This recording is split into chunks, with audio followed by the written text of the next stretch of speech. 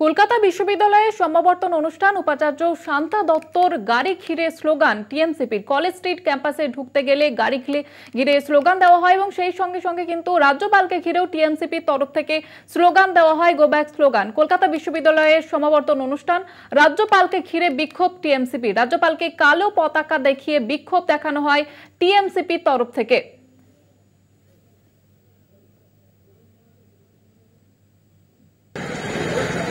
দিলাম।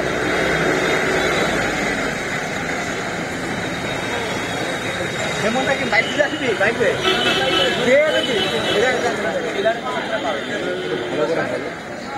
বলো। কনভোকেশন মানছি না মানবো না। ঘুষপেটিয়া ভিসি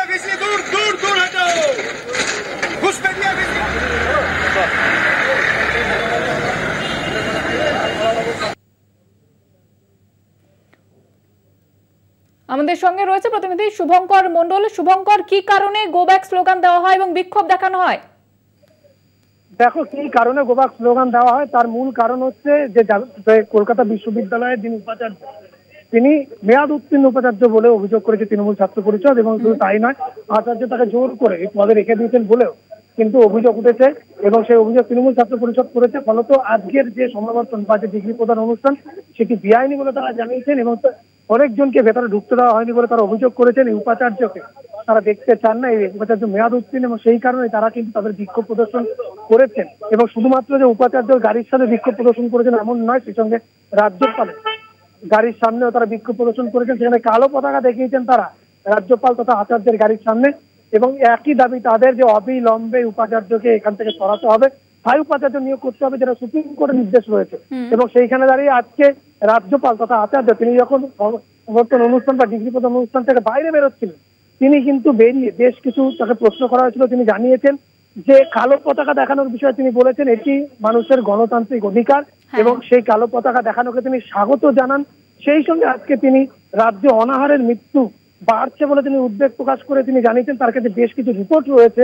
যেখান থেকে স্পষ্ট হচ্ছে নাকি রাজ্যে অনাহারে মৃত্যুর সংখ্যা বাড়ছে যেটা তিনি বলেছেন উদ্বেগজনক। এবং একই সঙ্গে তিনি জুনিয়র ডাক্তারদের যে কর্মবিরতি চলছে সেটা নিয়ে তিনি বলেছেন রাত এই মুহূর্তে জুনিয়র ডাক্তারদের সঙ্গে কথা বলা উচিত এবং তাদের বিচার পাই দিতে সাহায্য করা উচিত রাজ্যের এই জুনিয়র ডাক্তারদের সঙ্গে আলোচনা করা উচিত বলেও তিনি আজকে বক্তব্য রেখেছেন।